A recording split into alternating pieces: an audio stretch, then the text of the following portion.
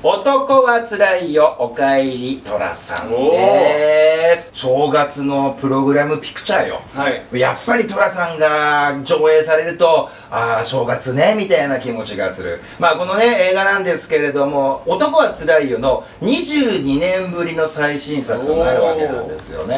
まあ登場人物たちの今を描く新撮映像と 4K のまあデジタル修復された過去の映像がこうミはいックスされた、まあ、作品なんだけどもいやー素晴らしかった。いや僕が喋ればいいねハリー君に聞こう。ハリー君、はい。男はつらいよとはい。自分で語るならば、やっぱり日本人として男は辛いよはどっかしら確かにね。触れてると思うんですよ、はい。誰と一緒に見たかっていうのもあーなんかそれってお覚えていません？わかるわかる、うん。まあこんなこと言うのもなんですけれどもまあ人よりは数多く年間通して映画見るわけじゃないですか。やっぱりどういうふうに紹介しようって思うこともあるからもちろん作品には没頭してるんだけれども例えば泣くことってほとんどないのよ、うん。これは正直、はいはいはい。えー、2019年唯一泣きましたもうボロ泣き。もう僕ねまさか男はつらいよでこんだけボロ泣きするとは。ちょっと意外ですよで小峠さん本当泣くイメージがない、いや。血と涙もない。それちょっと一旦止まってか？らどう血の涙もないってことはないでしょう。まあ改めてねまあ車虎次郎役の渥美清さんですけれども、まあ、1969年映画1作目以降28年間49作にわたり寅さんを演じたんだよね、まあ、シリーズファンならねおなじみのねメンバーがたくさん出ておりますけども、やっぱりですね三尾役、まあ、今回のまあ主人公ですね吉岡秀隆さんえー大人になりました。で泉役後藤久美子さん。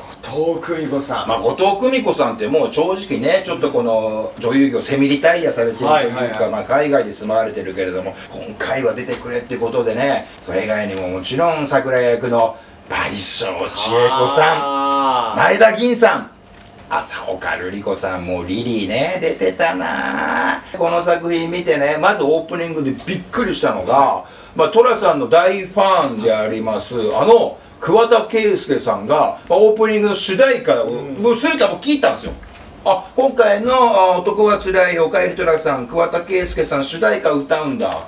もう度肝抜かれましたね。出演してました。いや男はつらいの歌詞俺泣いちゃうよこれ。ハリー君お願いしますもう。大釈天で。産湯を使い。を使い。生は車。生は車。名は虎次郎。人呼んで風天の虎と発します。いやもうこれもう本当泣きそうだよね。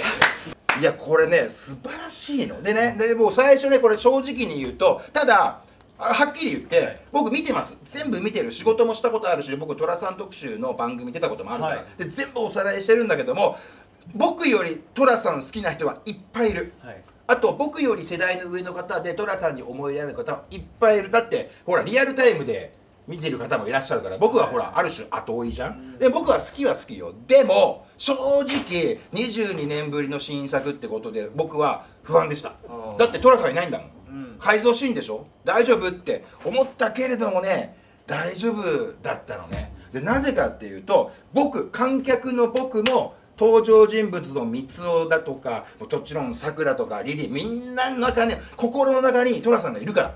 だから寅さんが実際に今いなかったとしてもみんなの心の中にいるんだよね、さあ一言だけ言いたいのはねラスト松竹の試写会場で、えニューシネマパラダイスのトトになったよね。